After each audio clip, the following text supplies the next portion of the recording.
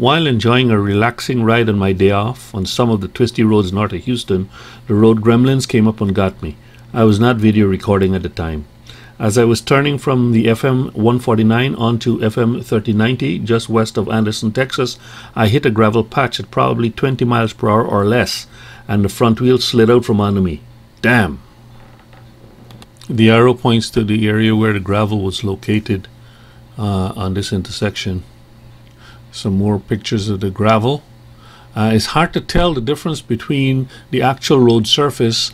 Uh, in Texas, here we have some of these rip-rap roads, and the road is kind of gritty to, on the top, so it's hard to tell gravel from the actual road sometimes. And this is one of those times.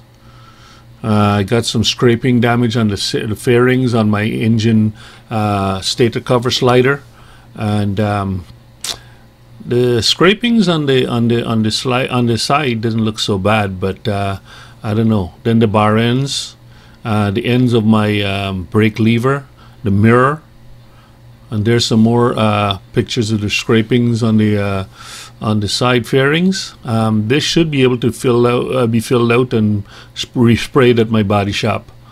Uh, just a little bit of damage on the clutch lever. Uh, the signal indicator was was uh, pushed out, and the lens is all scuffed up. And there's a slider on the uh, stator cover. Um, the main thing that was damaged is this gear shift lever, the foot lever, uh, is is bent. I was able to ride home, but I mean that's going to have to be uh, replaced or straightened out or something. I have no idea what the heck I'm going to do there. Um, the rear slider has got some uh, damage. It did its job. Even my helmet was not spared. New helmet.